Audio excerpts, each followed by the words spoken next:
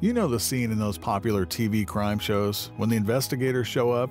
The one where they scratch their heads while trying to figure out who committed the homicide and when? At Mississippi State University, we're solving mysteries behind real life crime scenes with forensic research that's a first of its kind.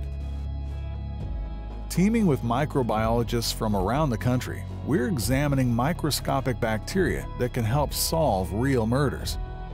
So far, our partnership with a major metropolitan medical examiner is yielding results with more than 200 real life crime samples analyzed. We're learning how microbiomes change and relocate, uncovering evidence in criminal investigations by better pinpointing time of death.